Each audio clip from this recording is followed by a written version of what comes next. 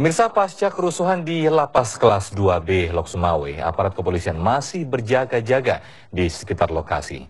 Polisi mensterilkan lokasi meminta warga dan wartawan menjauh dari lokasi. Aparat TNI dan Polri. Pasca kerusuhan disertai pembakaran, polisi terus meningkatkan pengamanan di sekitar lapas kelas 2B Lok Sumawe Aceh Utara.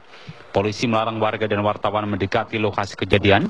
Petugas khawatir akan terjadinya aksi lempar batu dari dalam lapas, seperti yang dilakukan para napi malam tadi.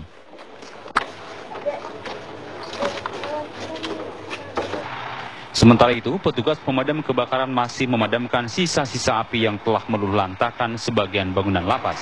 Adapun ruang yang terbakar adalah ruang perkantoran, registrasi, dan gudang beras. Kerusuhan disertai pembakaran lapas kelas 2 Bilok Semawe terjadi malam tadi. Para napi mengamuk dan membakar lapas setelah satu napi yang sakit tidak diizinkan petugas untuk berobat ke rumah sakit. Untuk meredam aksi napi, polisi sempat melepaskan tembakan ke udara. Lapas baru dapat dikuasai aparat kepolisian pagi tadi. Dari Lok Semawe Aceh, Sepul MDA TV One mengabarkan.